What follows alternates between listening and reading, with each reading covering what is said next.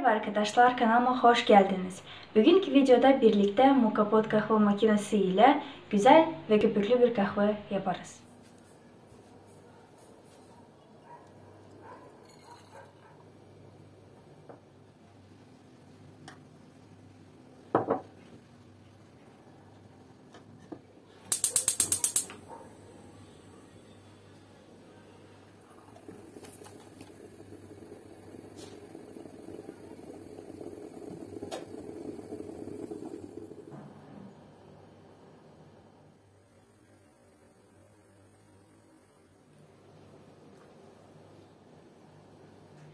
Size söylemek istiyorum süt marka önemlidir.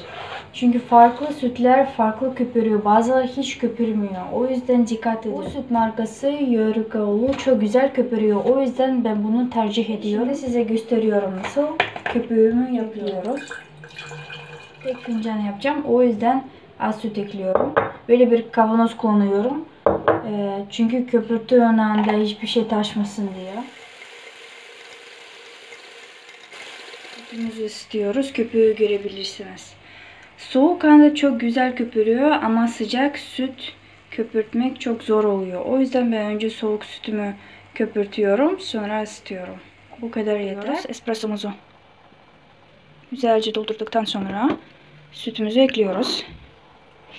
Hani böyle bir şekilde. Ve en tepede köpüğümüz oluyor. İşte böyle bu şekilde. Daha bol bir miktarda süt kullanırsanız yer daha çok köpüğünüz olacak. Birazcık daha espressomu ekliyorum.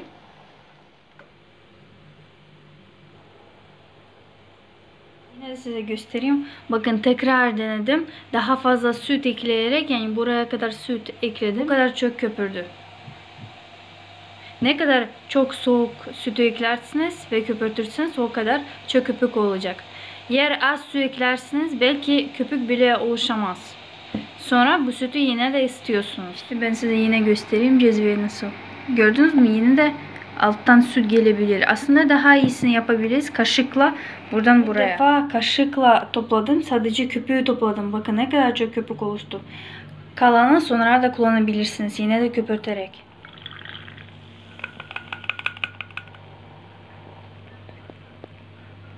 Videomu sonuna izlediğiniz için teşekkür ederim. Gelecek videolarda görüşmek üzere.